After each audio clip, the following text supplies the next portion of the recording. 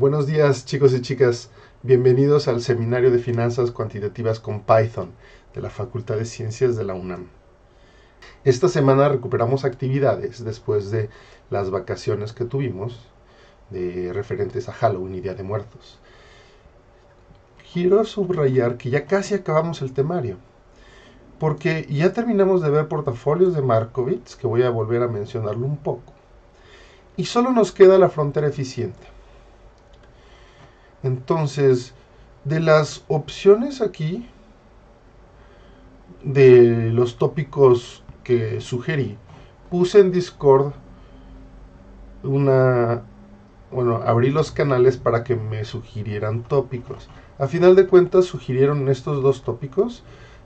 Los dos tienen que ver con evaluación de opciones. Uno es ver el smile de volatilidad y el otro es simulaciones de Monte Carlo. Entonces vamos a terminar con alguno de estos dos. Vamos a someterlos a votación a partir de hoy en la tarde. Y con eso ya acabamos el curso. Aunque nos quedan bastantes días, con eso ya acabamos el curso. Lo que quiero hacer ahora, en esta semana, y probablemente a lo mejor me cuelgue un día o dos más de la semana que viene, es cubrir toda la parte de frontera eficiente y hacerles énfasis en cómo podemos utilizar Markowitz y la frontera eficiente para optimización de portafolios, que ese es el objetivo. Recuerden que mi objetivo aquí es que aprendan a programar en Python, pero de manera aplicada. Y eso significa que van a movilizar todo lo que conocen de finanzas cuantitativas de la carrera de actuaria en la modelización, modelación financiera en Python. Entonces, no estoy tratando de construirme el algoritmo más complicado para hacer inversiones. No estoy tratando de hacer inversiones. Estoy tratando de darles a ustedes las herramientas para que esencialmente sean quants. Si es que así lo desean. Entonces, déjenme repetir lo que habíamos hecho, pero como, como cambié algunas cosas en esta parte, tanto en, el, en el script 08 portafolios, bueno, portfolios, como en el archivo de dedicado a los portafolios, donde tenemos funciones y clases, quiero ver en, aquí está, en mi GitHub, qué fue lo último que hicimos. Recuerden, el GitHub es Finanzas Cuantitativas FC, siempre pongo los links aquí abajo se van, pueden irse a los datos. Los datos aquí, aquí subo todos los archivos de datos que hemos utilizado, los CSV esencialmente. Le dan clic a alguno y aquí está. Y esto es con lo que construimos nuestras series de tiempo. Si me voy a 2024-1 pero sin data, son los archivos de código. Aquí están todos los archivos de código y en particular está el 08 portfolios y está portfolio. Y si quieren ver relativo a cada uno de los videos, se van a los commits y aquí como ven, pongo comentarios de a qué video de YouTube se refieren. Recuerden que el canal de YouTube es Finanzas Cuantitativas PI. Y por ejemplo, el último fue, aquí está, el video 31, pero podrían referirse, por, referirse por ejemplo, al video 27 o al video 18. Y lo que hacen es, en cada uno de los commits aquí, digo a qué video me estoy referenciando. ¿De acuerdo? Entonces en el último le dan clic en, estos, en esta parte y les va a mostrar los cambios. Esto es lo que originalmente teníamos nosotros. Esto les dice que lo pueden expandir, porque son cosas que se habían repetido, que no cambiamos. Y aquí ven, con menos es lo que es lo que había antes y que ya no hay, y con más es lo que no había y ya puse. Entonces, como ven aquí, cambié una sola palabra, esto es lo mismo, y agregamos portafolios, agregamos long only, agregamos Markowitz. Entonces, esto es lo que hicimos antes, y lo que vamos a hacer ahora es Voy aquí en portfolios, hice algunos cambios. Y aquí ven que tengo, agregué nuevas cosas. Y las nuevas cosas que agregué es Cuando estudiábamos las distribuciones, por ejemplo, de Mastercard o del Standard Poor's, SPY, aquí está, ¿se acuerdan? Con esto estudiábamos, analizábamos qué pasaba con el SPY.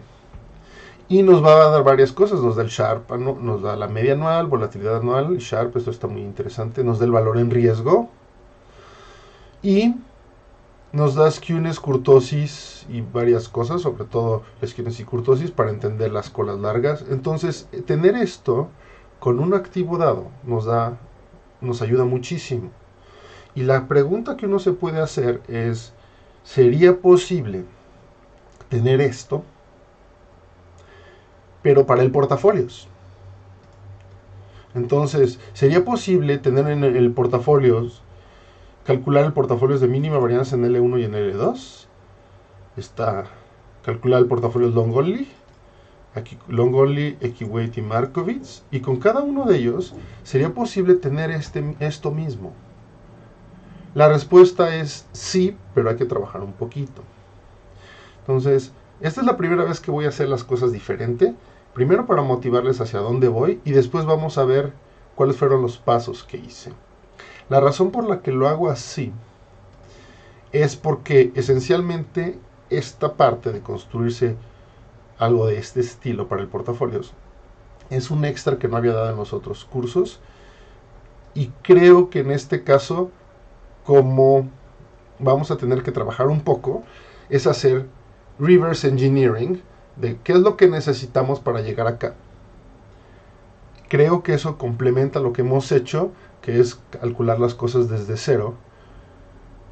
Y entonces, a lo mejor, viéndolo desde el enfoque de reverse engineering, en lugar de calcular todo desde cero, va a ser más intuitivo. No lo sé. Estoy pensando. Porque si les calculo todo desde cero y digo, ah, tenemos que hacer esto, ah, tenemos que hacer lo otro, probablemente van a, van a estar de acuerdo conmigo. Pero puede haber algunas preguntas de por qué se le ocurrió a tal persona hacer esto.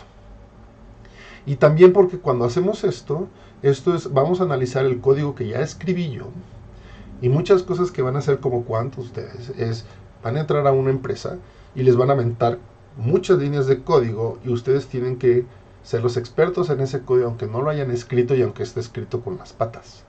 Entonces creo que aunque estoy cambiando un poco, vale la pena. Si lo ven, esta parte no existía cuando estábamos acá. Aquí se acababa, quitando los rendimientos, aquí se acababa calculando los portafolios. Es decir, esta parte de acá. Entonces lo que voy a hacer, voy a mantener esto para que vean. Y lo que voy a hacer aquí es, y agregué, a, eh, hacer un print de los rigs. Voy a tomar de manera aleatoria 5 de ellos y voy a calcular las cosas correspondientes. Vamos a ver qué cara tiene y me voy a quedar en la parte de plots.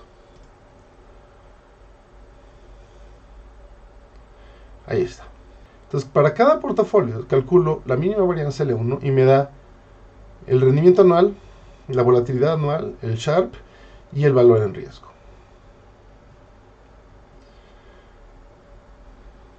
Después me da skewness, curtosis, etc. Entonces pueden ver aquí, al analizar el valor en riesgo y el Sharp, nada más con estos dos, pueden, pueden ver cuál es su riesgo. Entonces si estamos en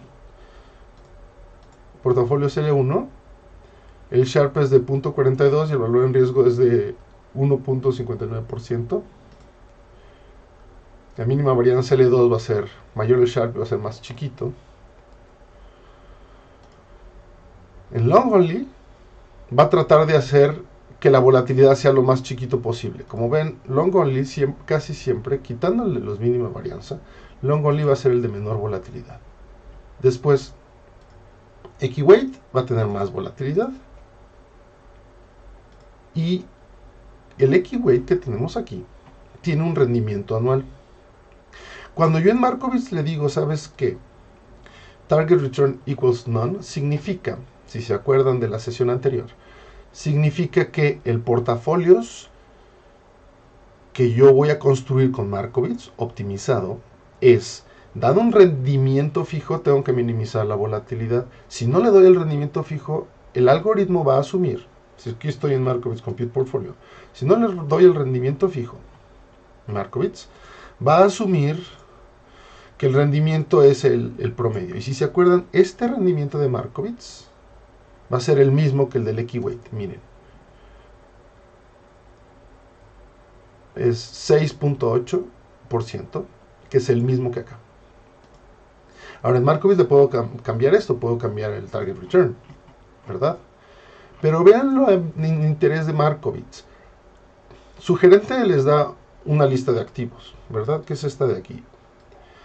Y lo más, el portafolio es más fácil de calcular es el equiweight. Entonces, le ponen el mismo peso a todos los activos y llegan a este portafolio. Y el rendimiento anual es de 6.8 y la volatilidad es de 15.92%. Lo que hace Markowitz es que, dado un rendimiento fijo, en este caso es este mismo, voy a minimizar la volatilidad, es decir, el portafolio de Markowitz va a ser el portafolio dentro de todos los portafolios que tienen un rendimiento de 6.8% anualizado, va a ser el portafolio de menor volatilidad y todos los pesos van a ser no negativos. Entonces vean, este es el mismo, pero la volatilidad cambia. Pasa de 15.92 a 14.76.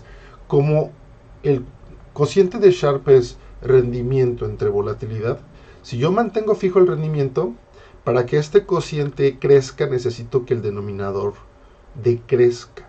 Por lo tanto, dado el portafolio Equiweight, el portafolio de Markowitz siempre va a ser mejor en Sharp porque el Equiweight es un portafolio muy simple y Markowitz va a, va a hacer más pequeño el denominador con respecto al portafolio Equiweight.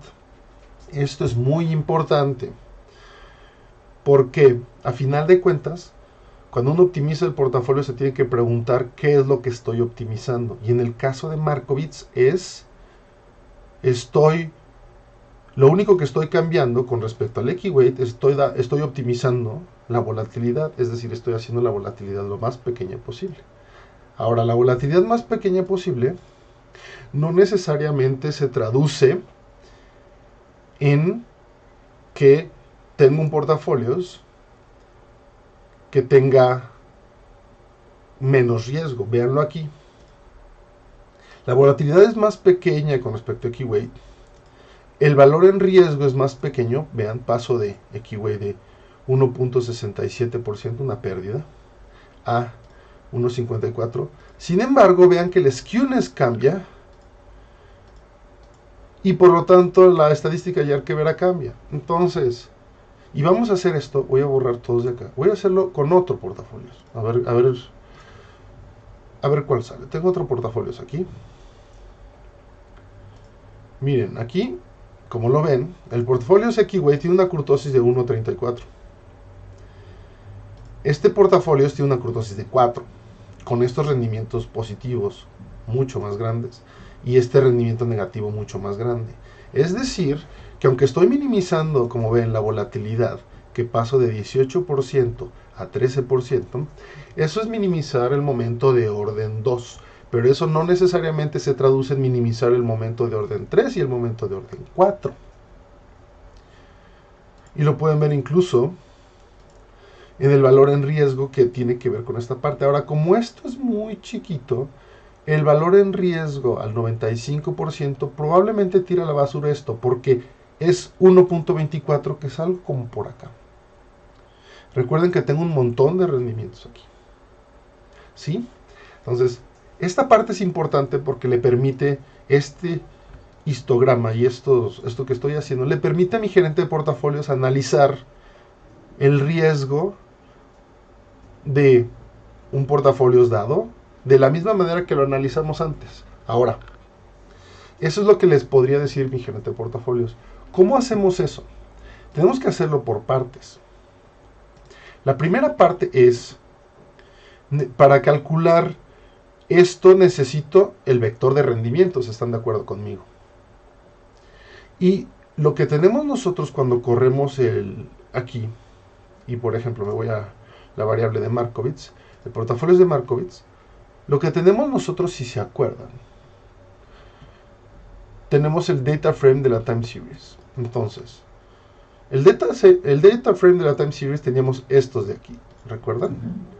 Que los recuperábamos simplemente cuando calculamos la covarianza, era vamos a sincronizar los rendimientos, ¿recuerdan?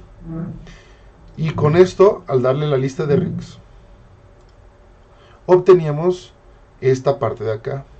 Estos 1, 2, 3, 4, 5. Vamos a ponerlos en orden así, decreciente. Estos 5 de aquí. Estos 5.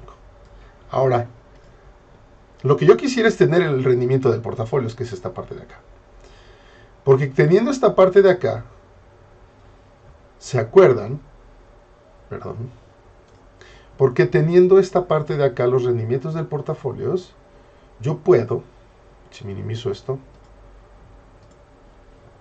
yo puedo irme a mi función de market data, en donde tenía, eh, no es esta, es esta de aquí, en donde tenía, si recuerdan, la clase distribución y puedo calcular la time series del portafolio dado que es esta de acá, ya la tengo, recupero esta time series y calculo media volatilidad sharp y recupero este mismo código de acá y una vez que lo tenga ya puedo hacer el plot del histograma.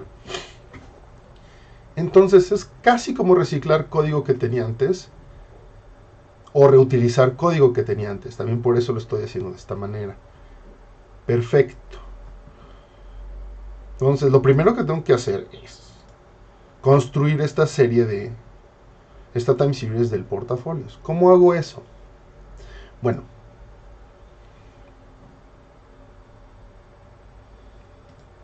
lo que hago es, con respecto a lo que había hecho antes, que está acá, y me voy a la clase de portafolios, aquí estaba, aquí tenía, sincronizaba la serie de tiempo, pero dentro de los self que tenía yo disponibles, no tenía, tenía, no, tenía el data frame de la time series, lo, agregué. El data frame de la time series, este DF, lo agrego acá. El DF es data frame de la time series y el data frame de las métricas que era RIGs, returns y volatilities, ese también lo tengo. Entonces, con respecto a lo anterior, solo agregué el data frame de las time series, que es este de aquí no hice mucho. Me repito, como ven aquí, después de returns y volatilities tenía un data frame de las métricas que ya teníamos acá. Y lo único que hice es voy a agregar las métricas, voy a agregar el, como variable, poniéndole un self, voy a agregar las time series. Aquí está. No hice mucho, simplemente, esencialmente agregué este renglón de acá. Y ahora, lo que voy a hacer es hacer justo las partes que me faltaban. Vamos a ponerlo con respecto acá. Una vez que hago el compute portfolios que está aquí, el compute empieza acá compute. Entonces, cuando calculo el compute al final, me va a dar optimal results, me va a dar, varias cosas. Y aquí es donde junto todo.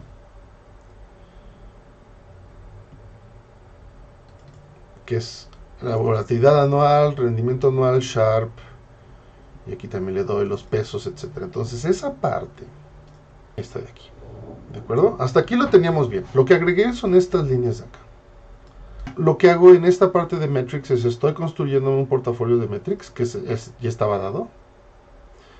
Es un portafolio extra de métricas, al que le agrego los pesos y la alocación. Es eso sí es una parte extra. Y lo que hago es primero voy a agregar pesos y alocación. ¿Por qué? Porque el portafolio, ¿qué es lo que voy a hacer? ¿Qué es lo que necesito hacer si quiero hacer esto? Esto de aquel portafolio, ¿qué es lo que necesito para, por ejemplo, Markowitz? El rendimiento que ven aquí calculado tiene que ser el rendimiento de cada uno de ellos ponderado con los pesos. Entonces tengo que tomar este multiplicado por el peso de Nvidia, este multiplicado por el peso de utilidades, este por su peso, este por su peso, este por su peso. Entonces necesito, una vez que ya tengo todos los rendimientos de acá, necesito los pesos y con eso construyo el portafolios. Entonces, para ello necesito este data frame que me va a dar los pesos que necesito. Y recuerden, los pesos son unitarios en L1 y la locación no es unitaria en L1. La locación, como ven, es, son los pesos que son unitarios en L1 multiplicados por el nocional. Entonces, los rendimientos que quiero, como no son en dólares, los tengo que hacer con los pesos. Y después, ¿cómo extiendo el data frame? Es muy simple. Voy a crearme un data frame TS, que es el data frame de time series. Y lo que voy a hacer es, tomo la time series original y la copio. Cuando hago esto, voy a obtener esta parte de aquí, sin la columna portafolios, esta parte de acá. Y entonces lo que tengo es construir la lista, construir como lista o como, como arreglo de columna esta parte y agregarla. Entonces aquí lo ven, aquí es cuando la arreglo los rendimientos del portafolio y cómo los calculo. Tomo los RICs. Tomo la lista de todos los RICs. Y construyo, como ven aquí, la lista de la time series de portafolios que la construí. Que son las time series, es una time series la que quieran.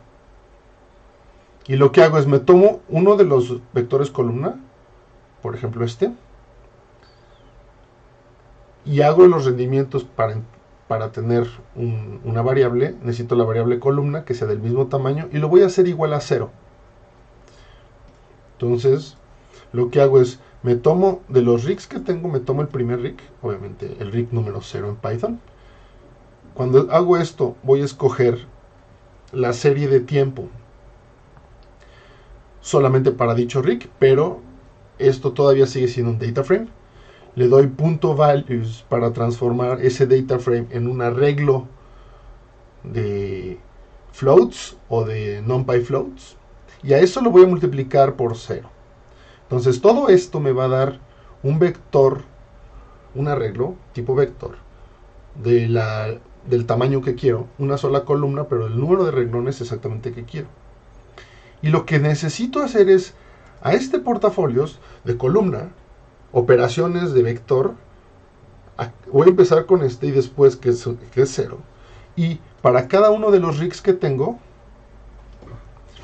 voy a hacer lo siguiente. Voy a, en el portafolio de alocación que están aquí, como ven, como es el portafolio de métricas, este portafolios, y se los voy a poner acá, lo voy a repetir, este portafolio de allocation tiene los rigs acá, y los pesos. Entonces, lo que quiero es recuperar para cada uno de los RICs, por ejemplo Nvidia, o por ejemplo el euro dólar, quiero recuperar este peso. Entonces, ¿qué es lo que hago? Voy a, voy a tomarme este renglón de aquí, voy a quitar todo lo demás. Solo voy a tener un data frame de un renglón con las columnas dadas, y a ese data frame de un renglón quiero encontrar su valor en la columna weights. Eso es lo que estoy haciendo. ¿Cómo lo hago? Es, tomo el portafolios y me voy, este punto lock, esto significa que me voy a quedar con la, en, la localización tal que dentro del portafolio, dentro del data frame dado, me voy a quedar solamente con el renglón donde los rigs sean igual al rig en el que estoy en el haciendo el, el loop, la iteración. Entonces, esto de aquí me va a dar un data frame de un solo renglón. Que ya muchos de ustedes hicieron eso en los exámenes. Entonces, si yo le doy como rig XLY me va a dar esto. Y si le doy como rig LLY me va a dar esto. Con sus encabezados. Y entonces lo único que tengo que hacer para encontrar el peso adecuado es dame el peso. Cuando hago esto, me va a dar un data frame de tamaño 1 por 1 y le digo, transfórmame eso en un, en un escalar. Por eso es el punto item. Y lo único que hago es, al, al rendimiento de portafolios, le voy a dar esa, le voy a dar la serie de tiempo correspondiente al RIC es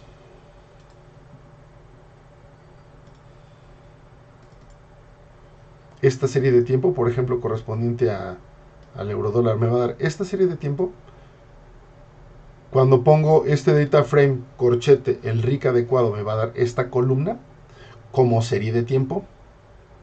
Y entonces, si a esa columna como serie de tiempo le pongo punto values, me va a dar un vector. Y a ese vector lo multiplico por el escalar correspondiente que es el peso que encontré. Como empecé con 0, empiezo con 0 y cada vez voy a construir mi portafolios. ¿Sí?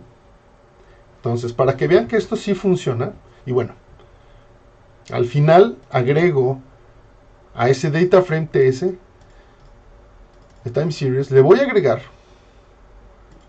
el portafolios. Y es por esto que cuando ustedes están aquí en Markowitz, fíjense, si estoy aquí en el Portfolio Manager y le digo, dame la Time Series, aquí no tengo al portafolios, porque esto es la Time Series general, porque es mi manager. Para un portafolios dado, por ejemplo, aquí Wait, la Time Series ya va a tener esta parte. Entonces, para ver que esto funciona, necesito que estamos en el, en el Equiweight, ¿verdad? Entonces necesito que este valor sea el promedio de todos estos. Vamos a ver que eso así sea. Entonces voy a poner 0.02221 menos 0.00016.358 más 0.0074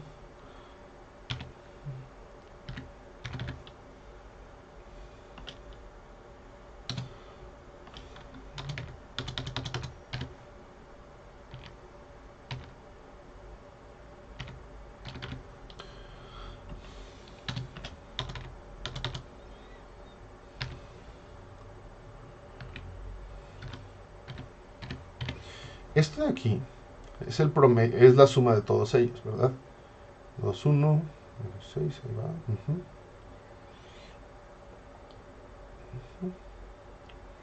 -huh. A la potencia menos 5. Con 4 ceros. Sí. O sea, esto lo tengo que dividir entre 5. Porque como es equiweight, necesito que los pesos, la suma de los pesos es igual a 1. Entonces necesito dividir entre 5. Aquí está. 00691 0069. Aquí está, es este de acá.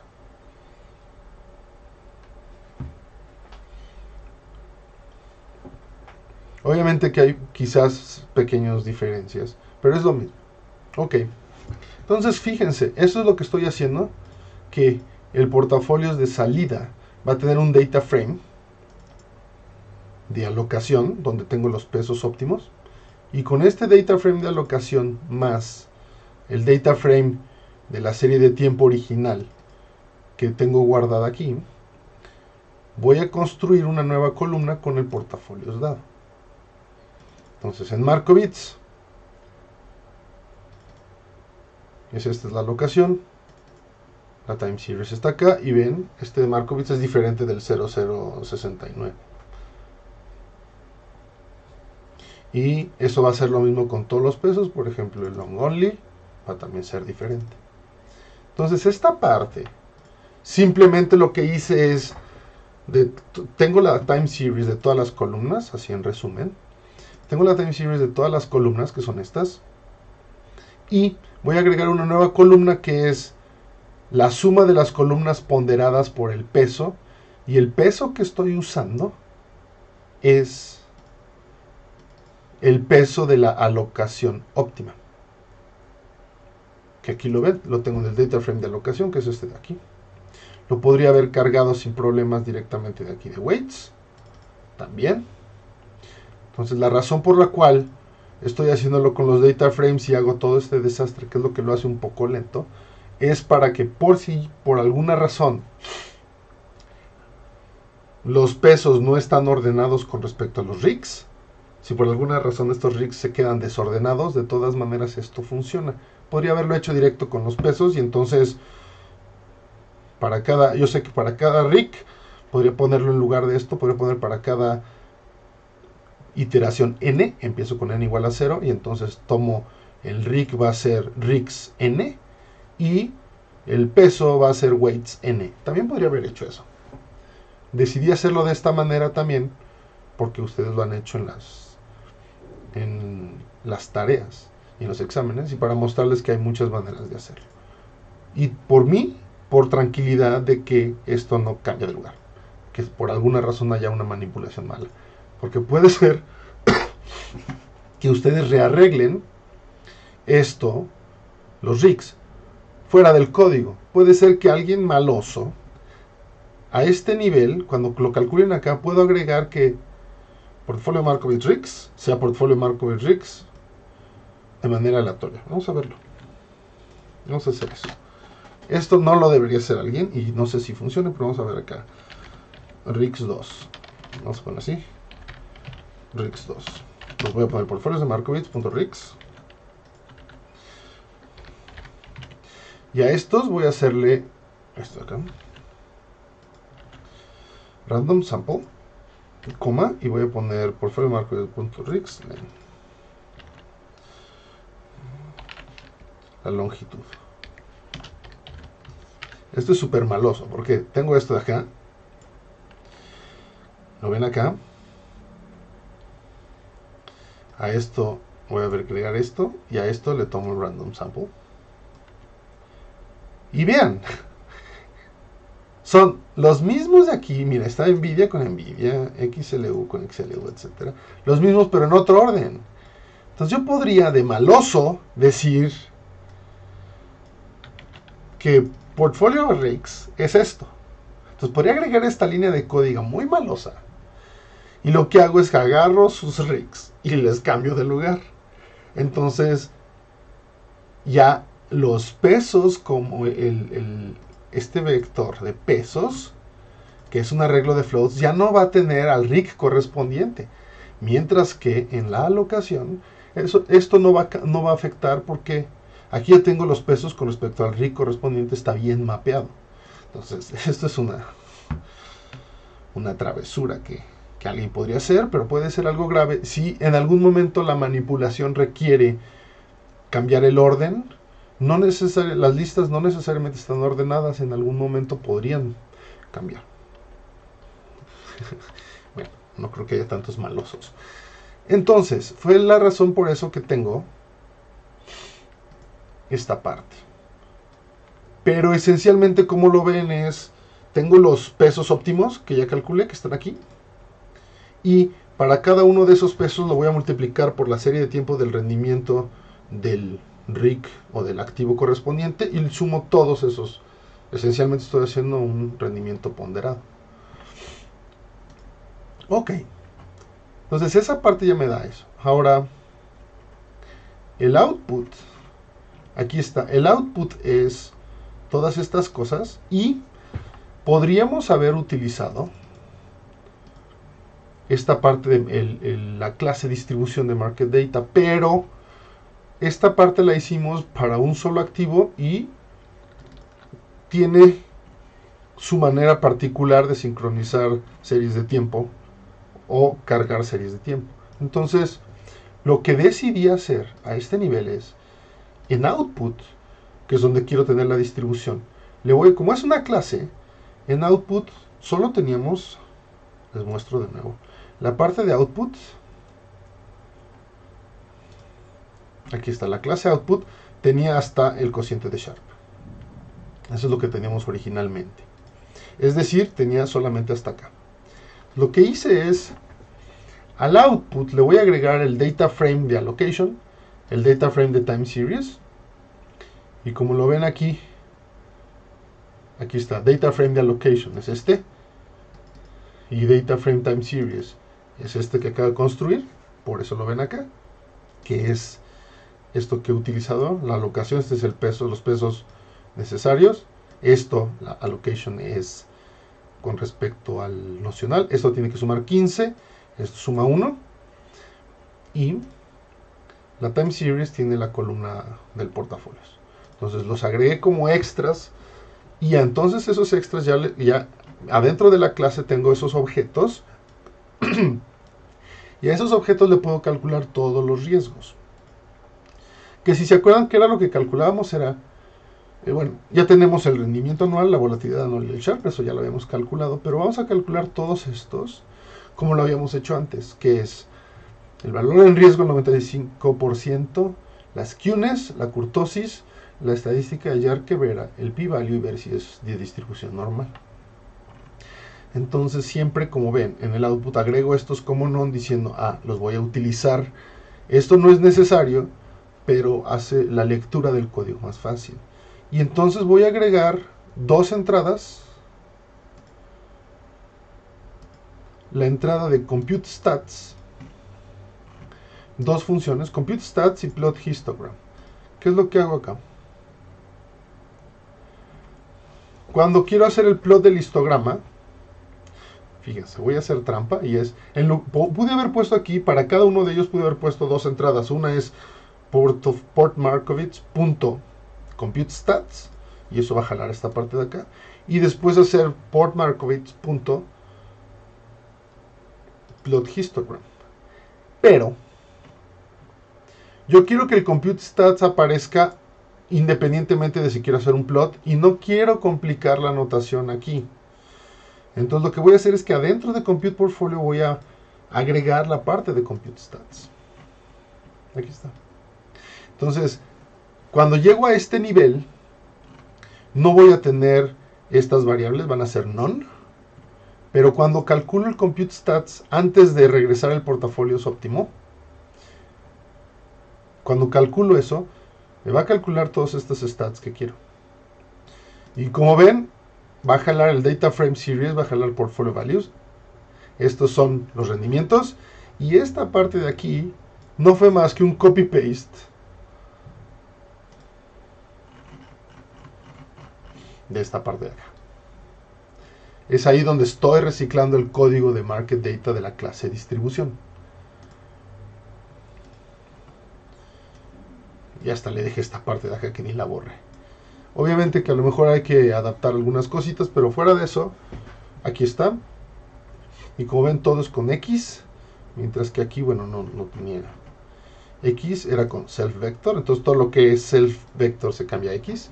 Y como lo ven, les he puesto a hacer ejercicios de tarea esto. Entonces supongo que alguien que ha seguido el curso de manera dedicada puede cubrir esto que estoy haciendo. Al menos es mi, mi pensamiento ideal. Y esto se calcula a este nivel. Lo cual les permite que cuando ustedes obtengan el portafolio de Markowitz, aquí ya tienen el, la bar, la estadística ya que verá finalmente si es normal o no. Skewness aquí está. Y estoy buscando la curtosis, está acá. Perfecto. Y ahora, lo que agregué como aquí es, para cada uno de esos portafolios vamos a hacer el plot del histograma. Y otra vez, el plot del histograma, esta parte de acá, no es más que un copy-paste de esta parte de acá.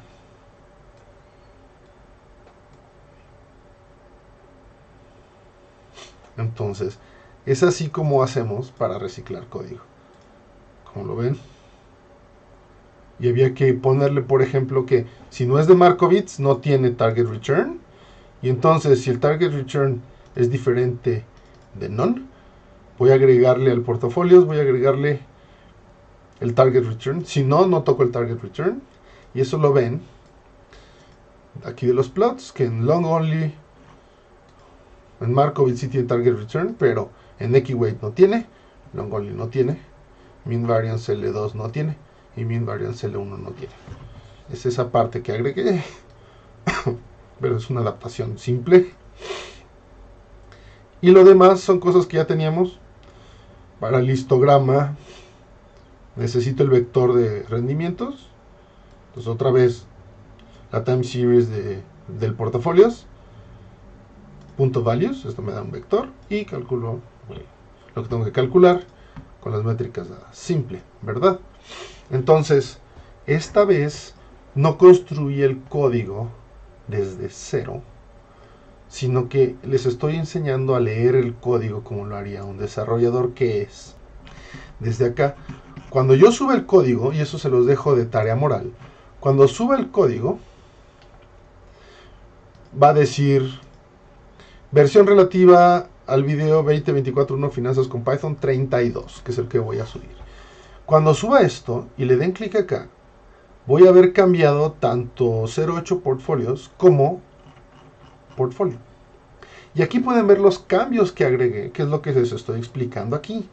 Y lo que hace un quant es que a este nivel tienes que ver qué cambios se agregaron. Por ejemplo, hay varios quants en su servicio y uno de ellos, que se llama Mauricio, agregó esto y les dijo, ah, mira, agregué la serie de tiempo, agregué métricas estadísticas, la serie de tiempo del portafolios, métricas estadísticas de portafolios y reciclé los histogramas y el análisis de la clase distribución. Es todo lo que les va a decir Juan Mauricio. Su tarea es entender. Y lo que hacen es, se van a GitHub o al equivalente en GitHub, ven los cambios, que es lo que les expliqué. Y creo yo que al hacer todo esto y ver los cambios, supongo que en cuestión de minutos van a decir, ah, ya entendí lo que está pasando. Y para estar más satisfechos, van a correr varios ejemplos acá, así, y van a decir, ah, ok, eso es lo que está haciendo. Vamos a correr unos ejemplos más. Aquí cambio el portafolios de manera aleatoria. Y aquí tengo el portafolios Equiweight. Como ven, 21% de rendimiento, 21.49. Markowitz 21.49, estoy utilizando el mismo. Y ahora puedo cambiar. Puedo decir que voy a utilizar 0.22. ¿Qué pasa si hago esto con Markowitz? Si hago esto con Markowitz F9 y ahora quiero hacer el plot de Markowitz. Fíjense, este es el Markowitz con 21.49 que por construcción va a tener menor volatilidad que el Equiweight, paso de 30 a 15. Este de aquí tiene un poco más de volatilidad, pero tiene un mejor rendimiento. Miren, este tiene un rendimiento de 21 y este tiene de 22. Lo interesante es que, miren, este de aquí tiene un Sharp de .7, este de .37 y el que acabo de cambiar, .38. Entonces, cambiando ligeramente el rendimiento resulta ser que fue mejor. No siempre va a pasar así, pero esencialmente esa es la idea, que les da a su gerente un portafolio Weight, calculan portafolios de menor volatilidad, lo cual hace mejor Sharp, y después reafinan, hacen un poco de fine tuning, reafinar Markowitz para tener algo de un poquito de mejor rendimiento. Entonces agrego un poquito de volatilidad, pero el, Sharp es un poquito mejor. Esa es la idea. Ok.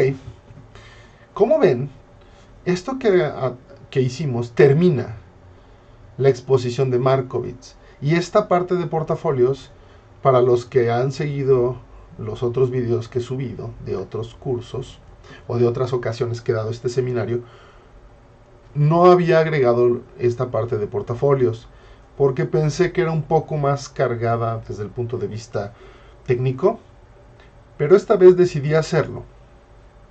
Porque a final de cuentas mi gerente de portafolios, si yo me quito esto y nada más me quedo con Markowitz, mi gerente de portafolio lo único que necesita hacer es cuatro líneas de código. El constructor.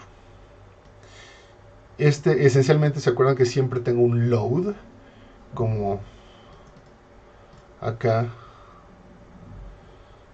market data que teníamos aquí el load.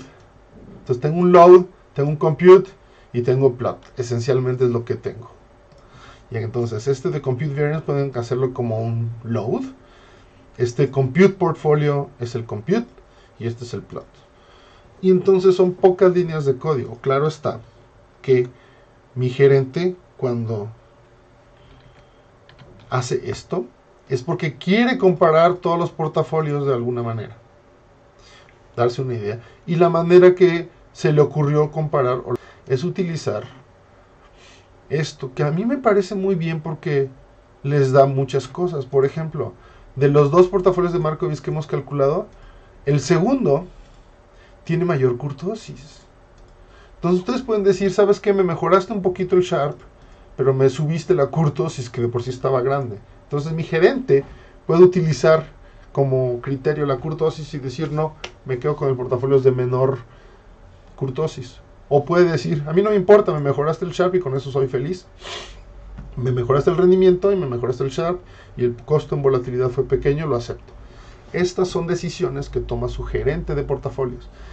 Y lo que les construimos aquí a nuestro gerente de portafolios y a los otros gerentes, si están en un servicio más grande, que este código se va a reciclar y se va a utilizar para todos los gerentes, es darles herramientas cuantitativas para que los gerentes de portafolios tengan una toma de decisión con más elementos de juicio y dichos elementos sean cuantitativos, robustos y por lo tanto buscar que la toma de decisiones sea lo más científica posible en el sentido de que sea lo menos subjetiva posible y que sea reproducible.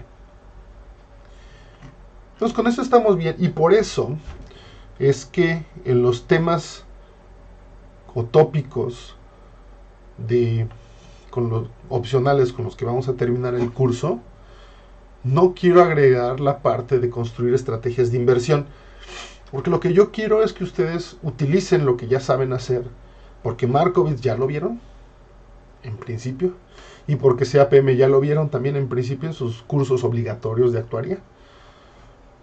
Entonces, estoy tratando de darles herramientas para hacer prototipos rápidos en Python de cosas que ya conocen si vemos la parte de crear unas estrategias de inversión, tendría que enseñarles a crear un backtesting. Y eso no es fácil. No es fácil. Y sobre todo si quieren hacerlo con cierto tipo de herramientas particulares como árboles de decisión o como redes neuronales o con machine learning, pues necesitamos cubrir todo el material de machine learning y eso no solamente se sale de la idea de prototipar, porque ya es crearse una maquinaria de, para probar estrategias, sino que además hay que aprender a entender Machine Learning y comparar diferentes casos. Entonces eso requeriría un curso completamente dedicado. No lo puedo dar como una opción. ¿De acuerdo? Es por esa razón, aunque sean cosas interesantes. Y además se sale del ethos del curso, que es movilizar lo que saben de actuaría. Entonces no estoy suponiendo que saben Machine Learning y aplicarlo para aprender en Python a hacer prototipos rápidos. Perfecto. Entonces, con esto acabamos la parte de Markowitz. Ya el código de Markowitz, tal como lo tenemos aquí, está completo. Lo único que quiero mencionar para terminar es, ¿qué tal si yo quiero agregar un nuevo portafolios? Si yo quiero agregar un nuevo portafolios, lo que tienen que hacer ustedes es a este nivel agregar un elif, ¿ven? Porque cada uno de los elif agrega un portafolio nuevo. Claro está que para Markowitz tuvimos que agregar mucho más. Pero si tiene un portafolio nuevo, aquí tendría que agregar un elif y ponen portfolio type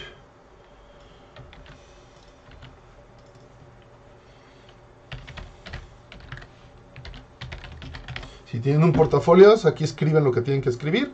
Lo único que es importante para todos estos portafolios es tener los pesos. Entonces aquí tengo que encontrar una manera de poner, de calcular los pesos. Lo dejo así porque esto es lo que van ustedes a crear. De cómo calcular los pesos correspondientes del portafolio. Y entonces aquí van a decir Compute Portfolios Mauricio Special. ¿Sale? Y si ese portafolio necesita nuevos inputs, como el target return. Tal vez aquí van a tener que agregar Mauricio Special.